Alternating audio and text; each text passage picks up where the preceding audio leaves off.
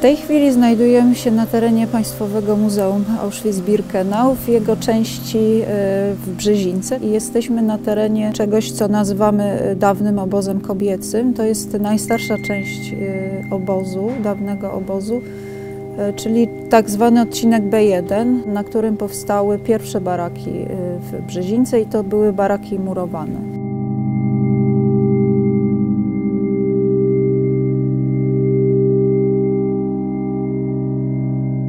Konserwacja takiego baraku czy takiego obiektu jest y, procesem, który się składa z kilku etapów. Większość z tych baraków, przynajmniej na początku, powstawała z materiałów rozbiórkowych. Pierwszy etap to badania, rozpoznanie, potem oczywiście projekt, y, projekt budowlany i programy prac konserwatorskich. Zawsze tego typu, tego typu sytuacje y, zmuszają, zmuszają konserwatorzy, są do tego przyzwyczajeni. E, budowlańcy mniej, e, ale mamy tutaj interdyscyplinarny zespół i to też jest taka duża korzyść tego przedsięwzięcia, że się jedna i druga branża od siebie uczy, więc musieliśmy się skonfrontować z obiektem i część tych naszych założeń nieco zmodyfikować, nie, z niektórych zrezygnować, niektóre zmienić, inne rozszerzyć. Te baraki zostały mm, rozebrane na, na, na swoje elementy pierwotne, patrząc po, po budowlanemu, powiedziałabym rzeczywiście, że i odsłoniliśmy fundamenty i wzmocniliśmy te fundamenty, doprowadziliśmy do tego, że one są w tej chwili zaizolowane.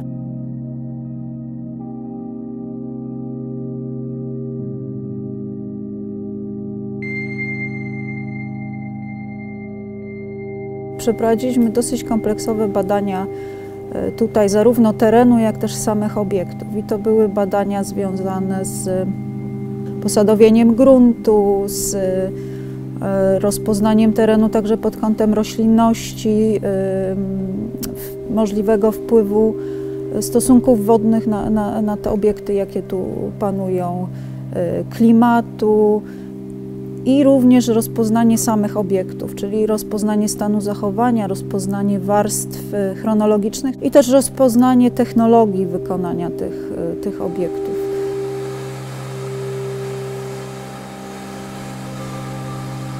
Takiego obiektu też z tego okresu z, y,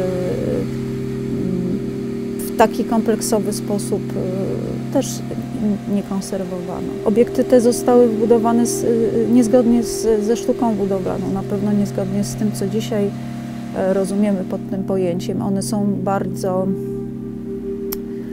bardzo w związku z tym delikatne w swojej strukturze, bo tu są ściany na jedną cegłę, one nie są fundamenty zewnętrzne ścian nie są jednakowe z fundamentami ścian wewnętrznych. Jest też wielość, pewna przekształceń we wnętrzu. To powoduje, że rzeczywiście te obiekty są bardzo wyjątkowe i e, to jakby w jaki sposób były budowane, czy w okresie takiego, takiego przyspieszonego, przyspieszonego planu budowania tutaj Brzezinki na potrzeby przetrzymywania więźniów e, e, sowieckich.